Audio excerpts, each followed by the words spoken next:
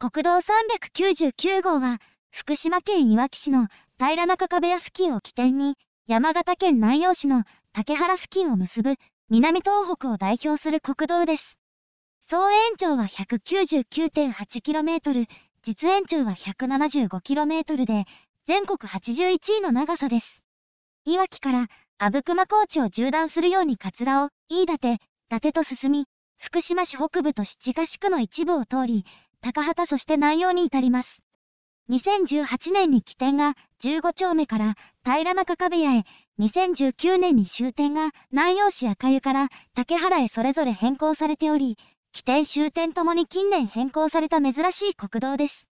山形、福島県境の鳩峰峠付近は、いわゆる国道と呼ばれます。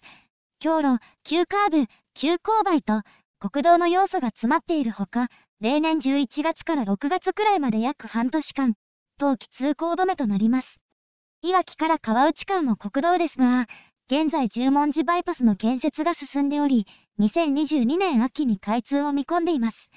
開通すると、所要時間が20分ほど短縮されるそうです。いわきから南陽まで国道399号で走破すると、約4時間半かかるようです。